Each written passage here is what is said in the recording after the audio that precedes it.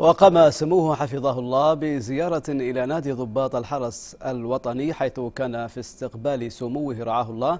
سمو الشيخ سالم العلي الصباح رئيس الحرس الوطني ووكيل الحرس الوطني الفريق ركن مهندس هاشم عبد الرزاق الرفاعي وكبار القادة بالحرس الوطني.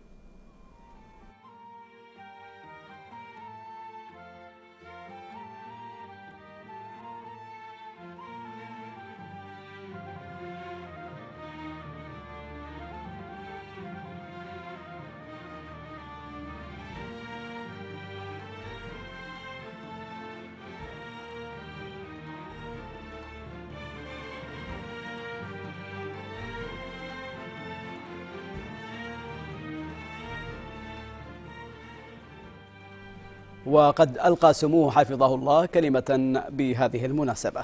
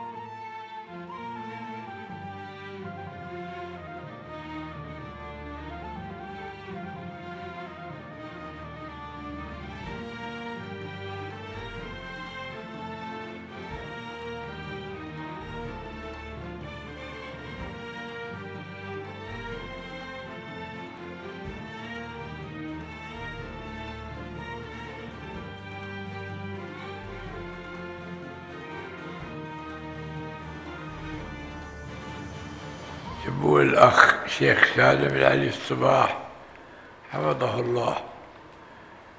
رئيس الحرس الوطني معالي الأخ شيخ مشعل أحمد الصباح حتى ولو أنه مريض وهو الآن في في بيته يجب أن أذكره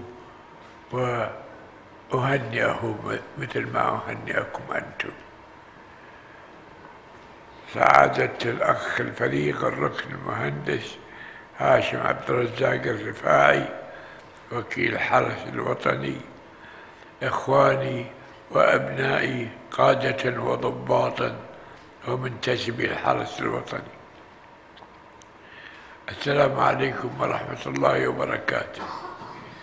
كعادتنا الحميدة التي اعتدنا كل عام نلتقي وأخي سمو ولي العهد شيخ نواف الأحمد جابر الصباح وال وال والأخ العزيز رئيس مجلس الوزراء والأخوة المرافقين بكم في هذه الليلة المباركة من ليالي شهر رمضان المبارك لنبادلكم التهاني بهذا الشهر الفضيل سائلين المولى تعالى أن يعيده على شعبنا العزيز بوافر الخير واليمن والبركات ووطننا الغالي يرفل بأثواب العز والفخر والازدهار. إخواني وأبنائي إن الأحداث المتسارعة والظروف الدقيقة التي تشهدها المنطقة تحتم عليكم استيعاب خطورتها. وتأثيراتها الأمنية وأنتم كما عهدناكم في الحرس الوطني جزء فاعل في المنظومة العسكرية والأمنية في البلاد. أسندت إليكم مهام جسيمة نلتم شرفها وهي الحفاظ على أمن الوطن والمواطنين والمقيمين وحراسة مؤسسات الدولة. ومرافقها العامة بالتعاون مع إخوانكم في القطاعات العسكرية والأمنية الأخرى. فأنتم رديفها الأول والمعين لها في جميع الظروف والأحوال. وأنني لعلى ثقة تامة باستشعاركم لهذه المسؤولية وحمل أماناتها وتأدية متطلباتها. بكل جدارة وكفاءة وتفاني وإخلاص كما أثبتتم ذلك دوما. إخواني وأبنائي أنتهز هذه المناسبة للإشادة بالجهود المقدرة التي يقوم به أخونا سمو الأخ الشيخ سالم العلي الصباح رئيس الحرس الوطني وعضيده معالي الأخ الشيخ مشعل أحمد. جابر الصباح نائب الحرس الوطني وبما يبذلانه من سعي متواصل ومشهود لرفع كفاءة أفراد الحرس الوطني والارتقاء بمستواهم الفني والعسكري وتنمية مهاراتهم العسكرية والعمل على توفير كافة ما يحتاجه الحرس الوطني من عدة وعتاد ليواكب ما تشهده المؤسسات العسكرية من تحديث وتطور بتمكينه من القيام بمهامه ومسؤولياته الوطنية المعهودة إليه. نبتهل إلى المولى جل وعلا أن يحفظ وطننا العزيز من كل مكروه ويديم عليه نعمة الأمن والأمان. وأن يتقدم برحمته ومغفرته شهدائنا الأبرار وأن يسكنهم فسيح جناته. والسلام عليكم ورحمة الله وبركاته. كما ألقى وكيل الحرس الوطني كلمة بهذه المناسبة. سيدي حضرة صاحب السمو أمير البلاد المفدى القائد الأعلى للقوات المسلحة حفظكم الله ورعاكم. سيدي سمو ولي عهد الأمين حفظكم الله ورعاكم. سيدي سمو رئيس الحرس الوطني حفظكم الله ورعاكم. سيدي سمو رئيس مجلس الوزراء حفظكم الله ورعاكم. أصحاب السمو والمعالي إخواني الضباط ضيوفنا الكرام السلام عليكم ورحمة الله وبركاته. وأهنئكم بالإنابة عن سيدي رئيس الحرس الوطني سمو الشيخ سالم العلي السالم الصباح حفظه الله وسيدي نائب رئيس الحرس الوطني معالي الشيخ مشعل الأحمد الجابر الصباح الموقر وجميع منتسبي الحرس الوطني قادة وضباطا وضباط صف وأفرادا وبالأصالة عن نفسي بحلول شهر رمضان المبارك. أعاده الله عليكم سنوات عديدة وأزمنة مديدة وعلى وطننا العزيز. بالرفاهية والرخاء في ظل قيادة آل الصباح أسرة الخير والبذل والعطاء. سيدي حضرة صاحب السمو حفظكم الله ورعاكم إن زيارة سموكم الكريمة وصحبكم الكرام للحرس الوطني في مثل هذه الأوقات من كل عام لتأتي ترجمة صادقة لتحقيق مبدأ التواصل بين القائد وأبنائه العسكريين والمدنيين على حد سواء. وإننا في الحرس الوطني لنستلهم من هذه الزيارة الكريمة دوافع مواصلة العطاء مستنيرين بتوجيهات سموكم الحكيمة ليظل الحرس الوطني الدرع الحصين والعضد المتين للجيش والشرطة في حماية ثرى الوطن الطاهر وتحقيق الأمن والأمان بمفهومهما الشامل. لكل من يستظل بسماء الكويت العزيزة. سيدي حضرة صاحب السمو حفظكم الله ورعاكم إن الحرس الوطني وهو يخطو خطوات متسارعة نحو النهوض والتطور جعلته ركيزة هامة ضمن المنظومة الأمنية لوطننا العزيز. ليحرص كل الحرص على إطلاع سموكم باستمرار على ما جناه من ثمار وما حققه من إنجازات وإلى سموكم بعضا منها.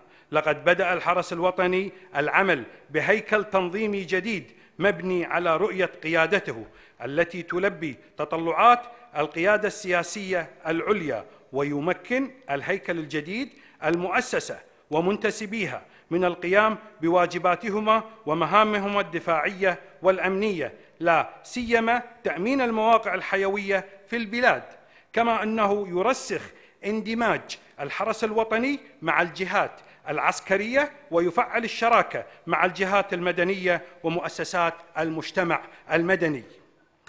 كما اهتم هيكل الحرس الوطني الجديد بضخ دماء شابة حيث ركز على الكفاءة مراعيا التخصص وصولا إلى أعلى درجات الشفافية. وجاء الهيكل التنظيمي الجديد مواكبا لنظام الترقيات الذي أكدت قيادة الحرس الوطني أن تكون دائما في شهر يونيو من كل عام تحقيقا للعدالة المؤسسية. سيدي حضرة صاحب السمو حفظكم الله ورعاكم. إن الحرس الوطني وهو يشهد عملية تطوير شاملة في كافة قطاعات العمل العسكرية والأمنية وما يتعلق بمهمته الاستراتيجية في النهوض بالعنصر البشري وخطته في إسناد أجهزة الدولة ذات الطابع الاستراتيجي والتعاون مع الجهات العلمية والأكاديمية والخدمية. ينطلق من استراتيجية يعمل في ضوئها وسيبدأ العمل بإذن الله بخطته الاستراتيجية الخمسية الجديدة 2020 في شهر سبتمبر المقبل. وتتميز هذه الخطة بأنها تواكب الأحداث المحيطة بنا وتحاكي المستقبل مرتكزة على عدة أسس وهي اولا تطوير الجاهزية القتالية العسكرية ومنظومة حماية المنشآت ذات الطابع الفني والحيوي والإستراتيجي. ثانيا التدريب المستمر وتطوير القوة البشرية والجاهزية الفنية مع استخدام المعدات المتطورة بأسلوب حديث للاستجابة السريعة للحدث ومنها استحداث الطيران العمودي. ثالثا الانتهاء من وضع المواصفات التي تؤمن ربط كافة المواقع والمنشآت الحيوية التي يتولى الحرس الوطني تأمينها وذلك من خلال المنظومة الأمنية والإنذار المبكر. وكما وعدنا سموكم العام الماضي فإننا نبشركم في هذا العام بأن الحرس الوطني وفي خطوة سباقة قد بدأ العمل بمنظومة الدفاع الكيماوي والرصد الإشعاعي التي تغطي جميع حدود الكويت البرية والبحرية من خلال محطات رصد ثابتة ومتحركة يسيطر عليها مركز عمليات متخصص. سيدي حضرة صاحب السمو حفظكم الله ورعاكم. وفيما يتعلق بالشراكة المجتمعية التي اتخذها الحرس الوطني منهجا ومنهاجا منطلقا من رؤية قيادته أضاف الحرس الوطني إلى سلسلة بروتوكولات التعاون التي وقعها مع العديد من الجهات. بروتوكول تعاون جديد مع معهد دسمان للسكري. واستكمالا لدوره المجتمعي فما زال الحرس الوطني يؤدي دوره اتجاه بنك الدم ومكتب الشهيد وغيرهما من الجهات التي يربطهما به تعاون مشترك. وترجمت لرؤية سموكم حفظكم الله ورعاكم التي تضع الشباب في مقدمة الاهتمامات. أطلقت مبادرة الحرس الوطني تنمية ووفاء لكويت العطاء للمرة الرابعة على التوالي بفعاليات جديدة ورؤية توعية استهدفت شباب الكويت. وأكدت دور المرأة الفعال والحيوي في المجتمع حيث عقدت دورات استهدفت الفتيات لصقل مهاراتهم جنبا إلى جنب مع الشباب. وحفاظا على أمن الوطن والمواطن ودعما من رجال الحرس الوطني لإخوانهم في وزارة الداخلية أولى الحرس الوطني اهتماما بالغا بدعم الحملة الوطنية لجمع الأسلحة الغير مرخصة. سيدي حضرة صاحب السمو حفظكم الله ورعاكم.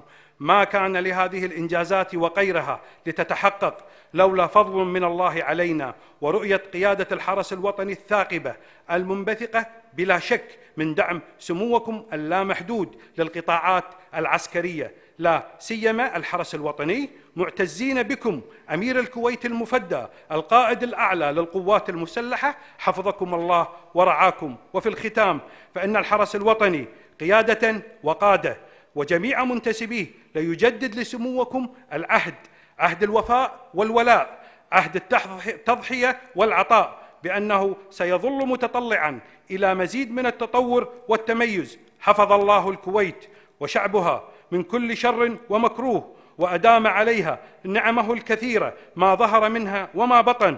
وآخر دعوانا أن الحمد لله رب العالمين والسلام عليكم ورحمة الله وبركاته. هذا وقد تم عرض فيلم وثائقي بعنوان مصنع الرجال. عين تسهر على أمن الكويت. وهكذا تمضي قافلة التدريب والعلم في مدارس الحرس الوطني لتخرج أجيال مؤهلة ومدربة قادرة على أداء مهامها في الحرس الوطني وخدمة الوطن العزيز.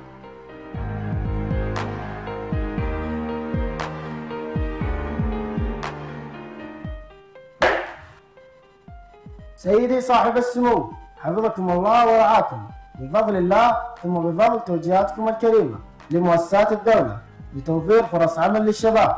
فقد استجاب الحرس الوطني لتوجيهاتكم الكريمة. وتم فتح باب القبول للشهادة التي يحملها. واليوم بحمد الله أنا عسكري في الحرس الوطني. وأتشرف بذلك. سيدي شكرا لكم من القلب.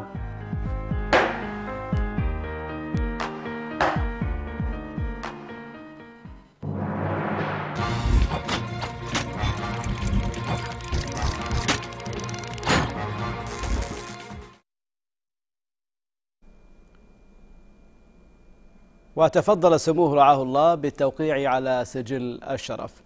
هذا وقد وافق سموه حفظه الله في الزيارات مع وزير شؤون الديوان الأميري الشيخ ناصر صباح الأحمد الصباح ونائب وزير شؤون الديوان الأميري الشيخ علي جراح الصباح وعدد من كبار المسؤولين بالدولة وعدد من الشيوخ.